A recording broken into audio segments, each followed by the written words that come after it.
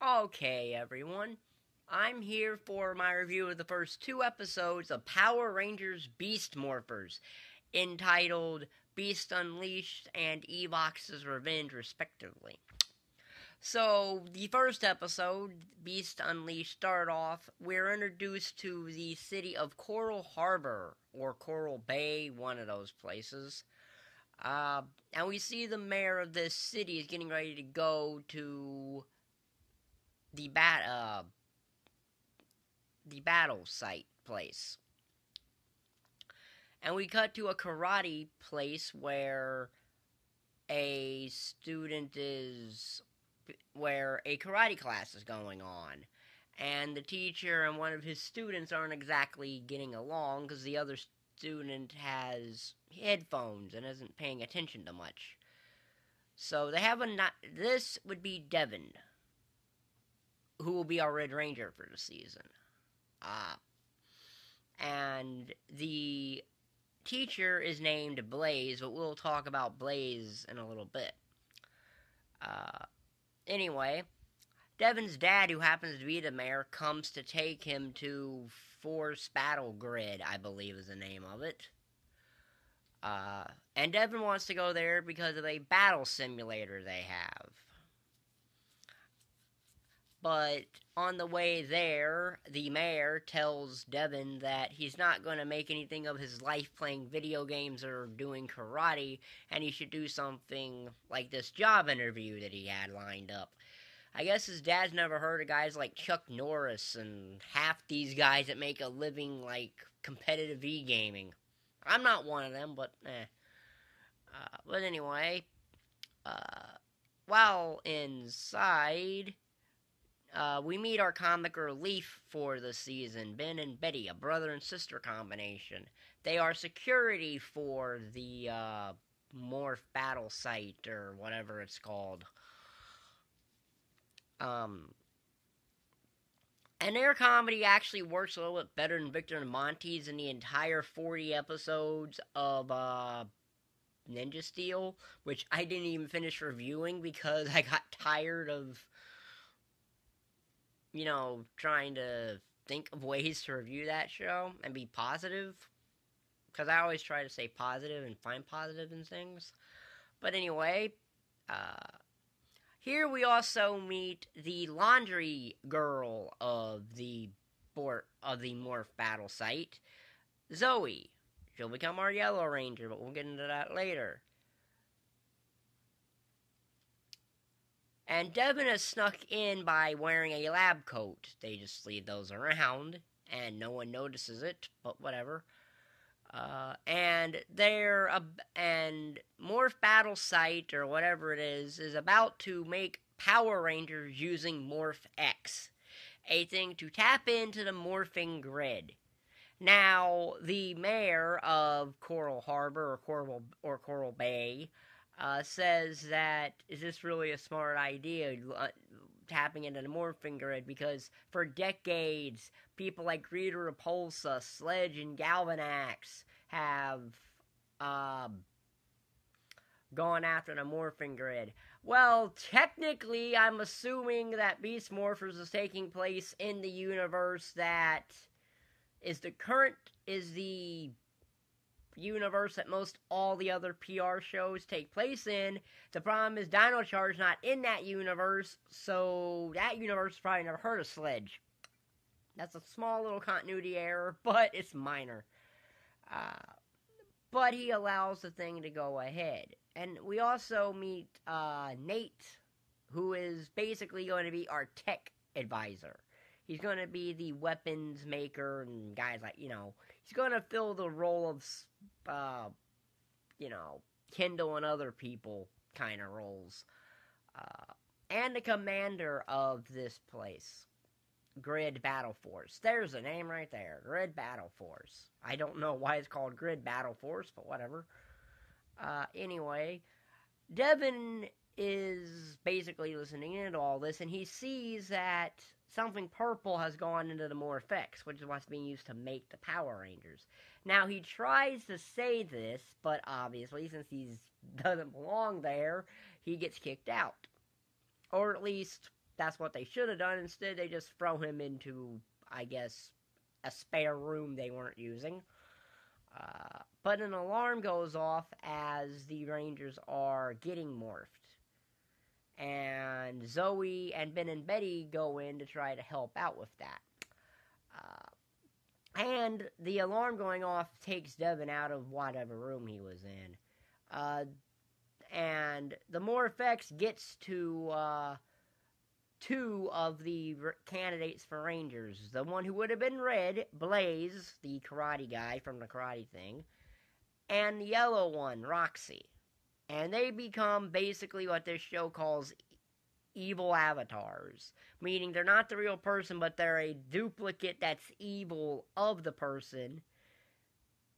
And the third Ranger candidate is our Blue Ranger for the season, Ravi. And before the Evox virus can infect him, Devon shoots the little tube that goes into his morpher, or where he would have been morphed.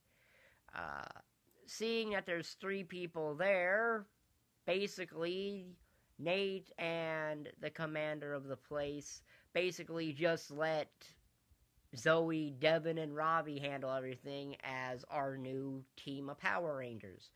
At least for the first probably half the season when we at least get two more, because I think there's two more in the Sentai, but again, I don't watch the Sentais. I don't know a lot about the Sentais, but I do think there's at least two more, because that's general formula now. That's general formula.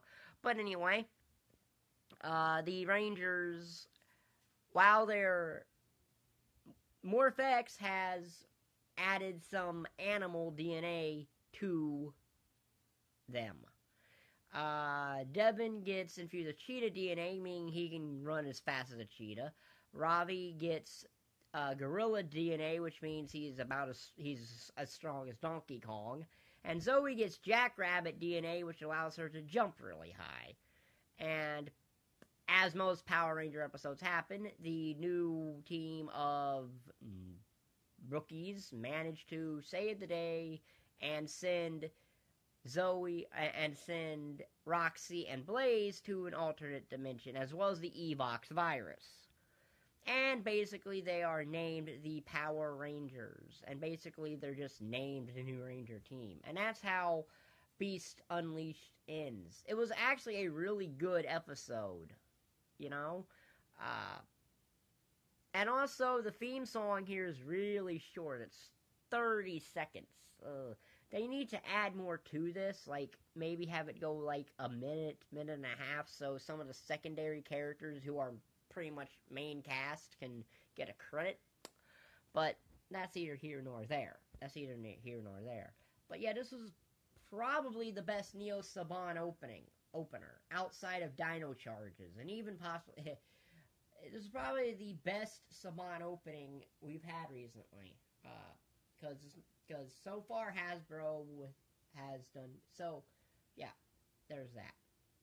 So how did Hasbro follow up? Well, Hasbro followed up with episode two, Evox's Revenge in which we finally get to see basically the base of operations for the villains, which is whatever dimension Blaze and Roxy and Evox virus ended up in. Uh, where they meet a orig- a general who's American made named Scrozzle. Now Scrozzle is on the run from another monster that he fears and he's in this dimension, but Evox wants out of this dimension and only Morph X can do that. So there's some Morph X that Blaze and Roxy brought with them. It powers their little Morpher keys. Uh, and we also get introduced to our foot soldiers of the season, the Tronics. Uh, so Scrozzle and Blaze, Roxy stays behind. Don't ask me why. Uh, go to steal some Morph X, but the Rangers interrupt them and they fight the Tronics and all this and Scrozzle says that you can use Morph-X to inject into a key-like thing, and it can make a monster. So he takes Morph-X, puts it in his thing, stabs a stack of tires with it, and creates a monster. The Rangers morph. Now, as going on, Zoe and Ravi are kind of in a competition with each other because the commander's about to name the leader of the Power Rangers, and they both think they should be the one to do it. And it's getting in the way of their ranger duty in a way. So Devon has to take a lot of things in his hand here. He destroys the monster and all that. And also, the Rangers basically get introduced to their robotic buddies, which basically serve as their steering wheels for their Zords. Uh,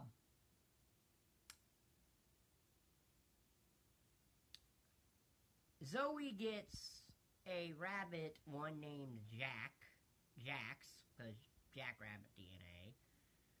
Uh, Ravi's is named Blaze because it's the Blaze Zord, I believe, is what it's called. And I believe that uh, Devon's is called Chase. Obviously, Ravi's a gorilla and Chase is a cheetah. Now, I could be wrong, and if I am, that's what. The, please leave it in the comments. Uh, I couldn't necessarily make out many, a couple of those names, but I think they're named after these respective Zords, so I think that. Anyway, uh, the Rangers have a malfunction, though, and they have a weakness in the case of this particular thing.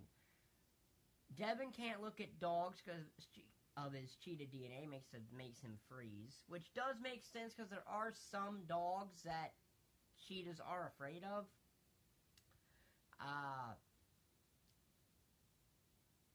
and Zoe and Ravi just overheat because they use too much of their powers.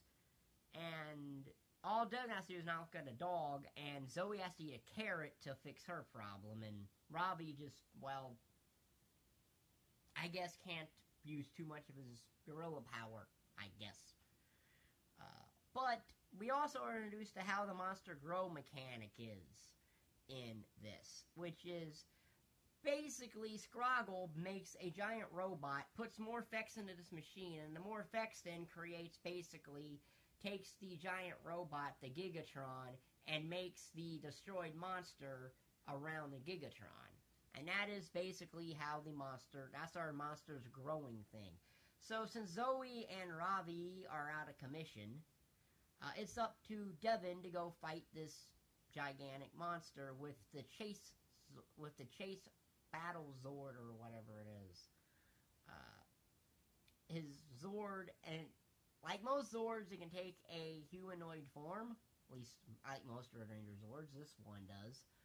And basically, Devon does freeze, but after fixing their kinks, Zoe and Ravi help out with their respective Zords.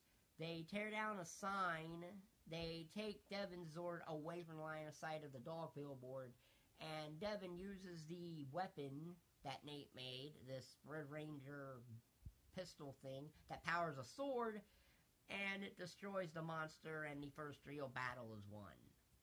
And basically, to round everything out, Zoe and Ravi basically say that Devon should be the leader because he held everything together when they were fighting. As the Red Ranger should be.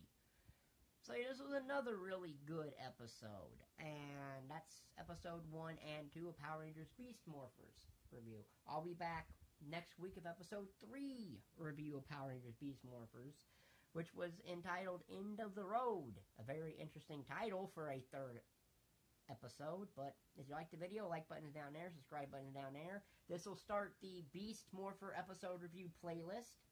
Uh, so thank you for watching. Bye.